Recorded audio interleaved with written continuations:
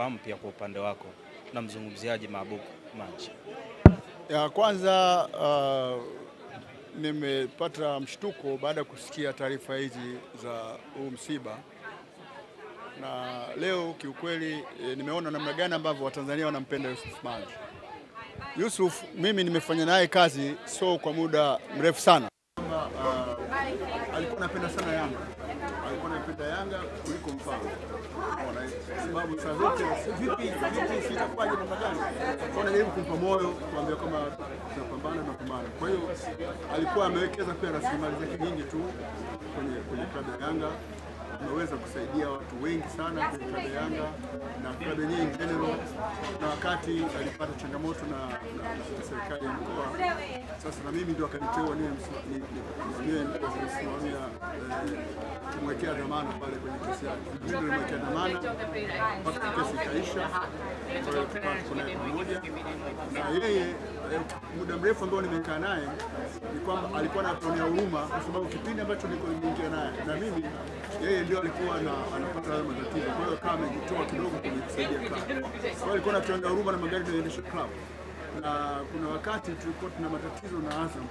Eh, na, na, na Azam TV wakati wanataka Yanga kama yeye alikuwa anataka kwamba Yanga ina, ina, ina, ina mileage kubwa, kwa hiyo package sio sana timu nyingine ndogo ndogo hizi kama labda za Wadisi au Majimaji kitu ambacho alikuwa anakisisitiza sana, na bahati nzuri uongozi sasa hivi chini ya engineer Hersi umefanya mchakato mzuri na wanawapa package nzuri ambayo inawasaidia kwenye kila mwezi, nafikiri kuna package wanawapa na vingine.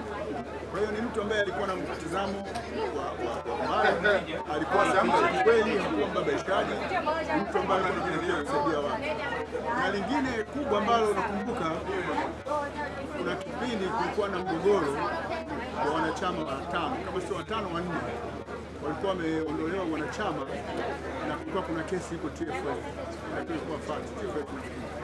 Sasa ile kesi wakati inaenda ni kwamba kulikuwa kunatakiwa muktasari wa kikao cha kuthibitisha wanachama kwamba unawafukuza wale wanachama ambayo ndio ilikuwa halali. Kwa hiyo eh, kama ingeonekana kwamba kweli eh, wali- walifanya makosa, ina maana Yusuf angekuwa anafungiwa maisha mujibu wa kanuni za ligi. Kwa hiyo tulichokifanya kama kuweza kumshauri, alikuwa anasikiza ushauri wangu kwamba tuwarudishe wanachama. Baada ya kurudisha wanachama, ile kesi ikawa imekufa na yeye akaendelea na uongozi. Kwa hiyo ni vitu vingi ambavyo nimekuwa naye, sio kweli, maji amekuwa kifuatilia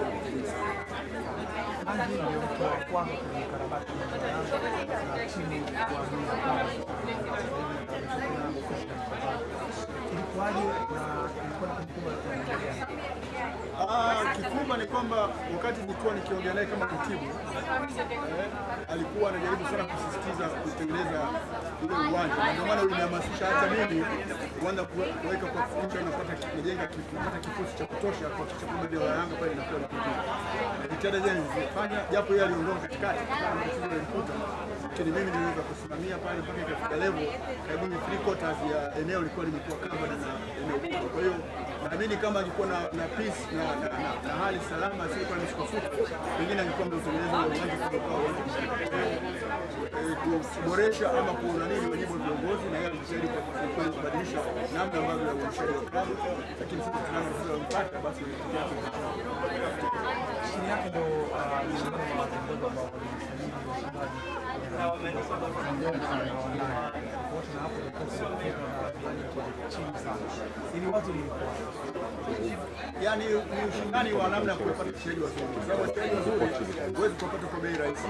Kwa hiyo kila mchezaji mzuri ambaye anayekuja na sifa nzuri anakuja na kiwango chake, anaweza kupewa ofa labda kiasi hiki, lakini ili uweze kumtaka yule lazima umpe ofa itakayokuwa imezidi kiasi kile.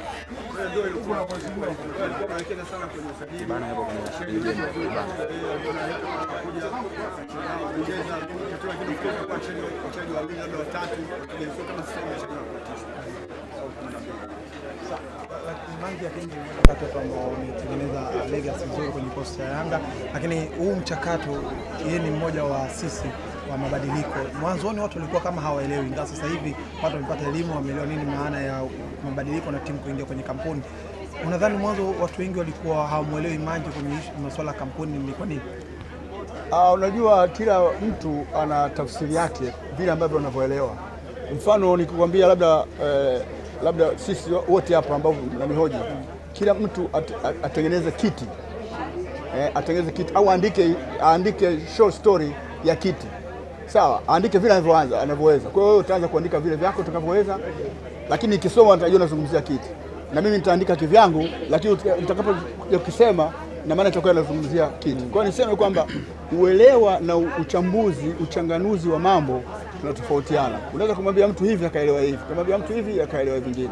Kwa mfano kama vile ambavyo alikuwa anataka yeye ni kwamba alikuwa hapendi timu kama Yanga na Simba zipate same ratio kwenye migao ya, pro- ya, ya publication kwa sababu ndio ina wanachama na wapenzi wengi wanaingia uwanjani. Kwa hiyo hata maeleji ya, ya, ya matangazo na maana wao Yanga na, na, na, na, na, na, na Simba ndio wenye maeleji kubwa, kwa hiyo walikuwa wanapata extra. Sasa walikuwa walikuwa wakiweka sheria kwamba haiwezekani wataka watu wote wapate sawa. Sasa ile ndio ikafanya Yanga wakagomea na, na, na, na, na kupokea ile mapato, kafika karibuni milioni 450 mia tano hivi. Kwa hiyo baadaye ndio wakatupa, lakini wakatukata, ila nadhani walicheza TP Mazembe na Yanga, watu waliingia bure uwanjani. Sasa wakati ule chama shirikisho la mpira lili- lilikata zile pesa au bodi ya ligi ilikata zile pesa kufidia kile kiingilio cha wale watu. Kwa hiyo tuka- tumepata kidogo, lakini lengo lake lilikuwa ni kama hivi ambavyo sasa hivi wanafanya na ile e, e, Azam wanafanya kwa Yanga, ndo, ndo ilikuwa malengo yake haya. Bwana kocha, neno lako kwa wanamichezo kuhusiana na Yusuf Manji, lakini pia wadau wa soka. Ya, kwangu mimi niseme kwamba eh, Mangi tulimpenda, lakini Mwenyezi Mungu amempenda zaidi. Kilichobaki hawezi kurudi tena, tutakutana naye mbele ya haki, lakini kikubwa ni tumwombee mwenzetu alikutangulia. Mwendo mwenzetu ameumaliza, kilichobaki ni sisi tunatangulia, tuko nyuma yake. Kwa hiyo tumwombee mwenzetu na sisi pia umauti utatukuta. Kwa hiyo tusi tu- tusimwogope au tukae tu- tujiandae sisi kama binadamu. Unajua kesho kesho tutapata kama. Kwa hiyo tunamwombea tu mwenzetu, sina la kusema zaidi, ni kumwombea tu wapate malezi mema, wapate ma- ma- mahala pema peponi. Shukrani, asante sana. alikuwa anapenda sana Yanga, alikuwa anapenda Yanga kuliko mfano. Sababu saa zote vipi vipi, sitakuwaje namna gani, kwa najaribu kumpa moyo, kuambia kama tunapambana tunapambana. Kwa hiyo alikuwa amewekeza pia rasilimali zake nyingi tu kwenye kwenye klabu ya Yanga ameweza kusaidia watu wengi sana kwenye klabu ya Yanga na klabu yenyewe in general, na wakati alipata changamoto na, na, na serikali ya mkoa, sasa na mimi ndio akaniteua niwe msimamia eh, kumwekea dhamana pale kwenye kesi yake. Nilimwekea dhamana mpaka kesi ikaisha, kwa pamoja na yeye eh, muda mrefu ambao nimekaa naye ni kwamba alikuwa anatuonea huruma kwa sababu kipindi ambacho niko nimeingia naye na mimi yeye ndio alikuwa anapata hayo matatizo, kwa hiyo kama amejitoa kidogo kwenye kusaidia club. Kwa hiyo alikuwa anatuonea huruma na magari tunaendesha club, na kuna wakati tulikuwa tuna matatizo na Azam eh, na, na, na Azam eh, TV wakati wanataka Yanga kama yeye alikuwa anataka kwamba Yanga ina, ina, ina, ina mileage kubwa, kwa hiyo package sio sana sana timu nyingine ndogo ndogo hizi kama za au kitu ambacho alikuwa anakisisitiza sana, na bahati nzuri eh, uongozi sasa hivi chini ya engineer Hersi umefanya mchakato mzuri na wanawapa package nzuri ambayo inawasaidia kwenye kila mwezi, nafikiri kuna package wanawapa kwa vingine.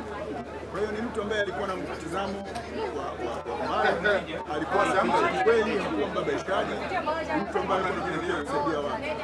Na lingine kubwa ambalo nakumbuka, kuna kipindi kulikuwa na mgogoro wa wanachama watano, kama sio watano, wanne walikuwa wameondolewa wanachama na kulikuwa kuna kesi iko TFF, lakini kwa fact TFF. Sasa ile kesi wakati inaenda ni kwamba kulikuwa kunatakiwa muktasari wa kikao cha kuthibitisha wanachama kwamba unawafukuza wale wanachama, ambayo ndio ilikuwa halali. Kwa hiyo eh, kama ingeonekana kwamba kweli eh, wali- walifanya makosa, ina maana Yusuf wanafungiwa anafungiwa maisha kwa mujibu wa kanuni za ligi. Kwa hiyo tulichokifanya kama kwamba ku- kumshauri, alikuwa anasikiza ushauri wangu kwamba tuwarudishe wanachama. Baada ya kurudisha wanachama, ile kesi ikawa imekufa na yeye akaendelea na uongozi. Kwa hiyo ni vitu vingi ambavyo nimekuwa naye, sio kweli maji yalikuwa ya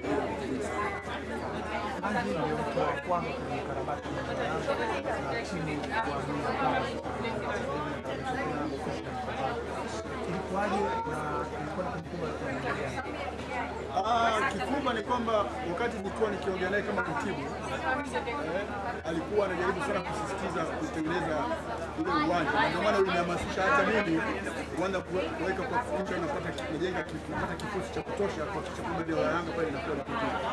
Jitihada zile nilizifanya, japo yeye aliondoka katikati kwa mkuta, lakini mimi niliweza kusimamia pale mpaka ikafika level karibu ni three quarters ya eneo lilikuwa limekuwa covered na eneo kubwa. Kwa hiyo naamini kama angekuwa na, na peace na, na, na, na hali salama misukosuko, pengine angekuwa mtengeneza eh, kuboresha ama kuona nini wajibu wa viongozi na yeye alijitahidi kwa kubadilisha namna ambavyo ya uendeshaji wa klabu, lakini sisi tunaona sasa mpaka basi chini yake ndo ah, ambao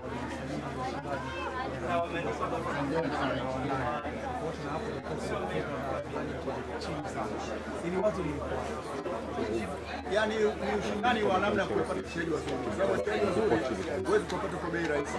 Kwa hiyo kila mchezaji mzuri ambaye anayekuja na sifa nzuri anakuja na kiwango chake, anaweza kupewa ofa labda kiasi hiki, lakini ili uweze kumtaka yule lazima umpe ofa itakayokuwa imezidi kiasi kile. Kwa hiyo ndio ilikuwa alikuwa anawekeza sana kwenye usajili. Eh, alikuwa analeta kuja kuongeza kitu, lakini kwa wachezaji wawili labda watatu, sio kama sasa wachezaji wa tisa.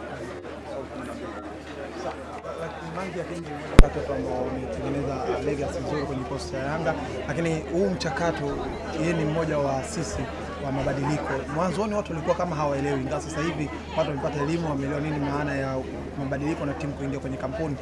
Unadhani mwanzo watu wengi walikuwa hawamwelewi Manji kwenye masuala ya kampuni, ni kwa nini? Uh, unajua kila mtu ana tafsiri yake vile ambavyo anavyoelewa. Mfano nikikwambia labda eh, labda sisi wote hapa ambao nanihoji, kila mtu at, at, atengeneze kiti eh, atengeneze kiti au aandike aandike short story ya kiti sawa, aandike vile anavyoanza anavyoweza. Kwa hiyo wewe utaanza kuandika vile vyako utakavyoweza, lakini ikisoma nitajua nazungumzia kiti, na mimi nitaandika kivyangu, lakini nitakapokuja kusema na maana itakuwa nazungumzia kiti. Kwa hiyo niseme kwamba uelewa na uchambuzi, uchanganuzi wa mambo tunatofautiana. Unaweza kumwambia mtu hivi akaelewa hivi, kumwambia mtu hivi akaelewa vingine. Kwa mfano kama vile ambavyo alikuwa anataka yeye ni kwamba alikuwa hapendi timu kama Yanga na Simba zipate same ratio kwenye migao ya, ya, ya publication kwa sababu ndio ina wanachama na wapenzi wengi wanaingia uwanjani. Kwa hiyo hata mileage ya, matangazo na maana wao Yanga na, na, na, na, na, na, na Simba ndio wenye mileage kubwa, kwa hiyo alikuwa anapata extra. Sasa walikuwa walikuwa wakiweka sheria kwamba iwezekani wanataka watu wote wapate eh, sawa. Sasa ile ndio ikafanya Yanga wakagomea na, na, na, na, na kupokea ile mapato, ikafika karibu milioni 450 500 hivi. Kwa hiyo baadaye ndio akatupa lakini akatukata ila badala walicheza TP Mazembe na Yanga watu waliingia bure uwanjani. Sasa wakati ule chama shirikisho la mpira lili- lilikata zile pesa au bodi ya ligi ilikata zile pesa kufidia kile kiingilio cha wale watu. Kwa hiyo tumepata kidogo, lakini lengo lake hili lilikuwa ni kama hivi ambavyo sasa hivi wanafanya na e, e, Azam wanafanya kwa Yanga, ndio ndio ilikuwa malengo yake haya. Bwana kocha, neno lako kwa wanamichezo kuhusiana na Yusuf Manji, lakini pia wadau wa soka. Ya, kwangu mimi niseme kwamba eh, Manji, Manji tulimpenda, lakini Mwenyezi Mungu amempenda zaidi. Kilichobaki hawezi kurudi tena, tutakutana naye mbele ya haki, lakini kikubwa ni tumwombee mwenzetu alikutangulia. Mwendo mwenzetu ameumaliza, kilichobaki ni sisi tunatangulia, tuko nyuma yake. Kwa hiyo tumwombee mwenzetu na sisi pia umauti utatukuta. Kwa hiyo tusi tu- tusimwogope au tukae tu- tujiandae sisi kama binadamu. Unajua kesho kesho tutapata matukio kama haya. Kwa hiyo tunamwombea tu mwenzetu, sina la kusema zaidi, kumwombea tu wapate malezi mema, wapate ma- ma- mahala pema peponi. Shukrani, Asante sana.